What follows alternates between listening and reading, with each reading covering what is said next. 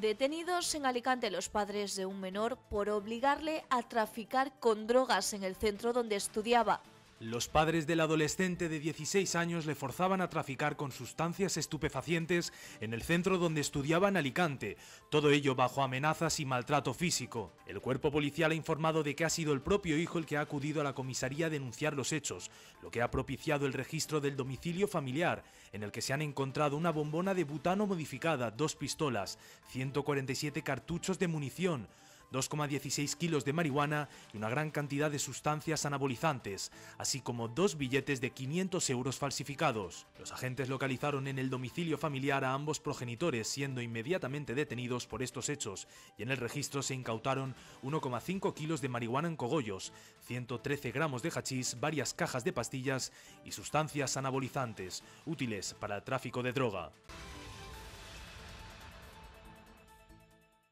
Un hombre degüella a su hermano en Canals y luego se quita la vida. Un hombre ha matado este miércoles a su hermano en la localidad valenciana de Canals y a continuación se ha suicidado, según ha informado fuentes de la Guardia Civil que han indicado que el caso se encuentra bajo investigación.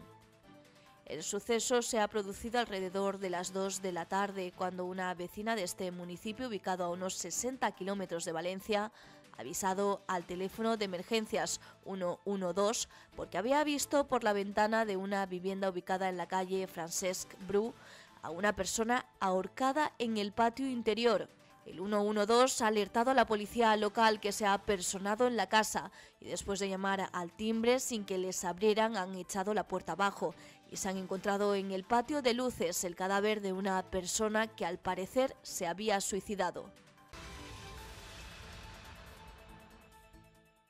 La Policía Nacional y la Guardia Civil detienen a una persona a la que se le atribuye el robo de 70 piezas ornamentales en cementerios. La Policía Nacional de Alicante y la Guardia Civil, en el desarrollo de una operación conjunta, han detenido a un varón que presuntamente habría desvalijado nichos de los cementerios públicos de las localidades de Elda y Petrer.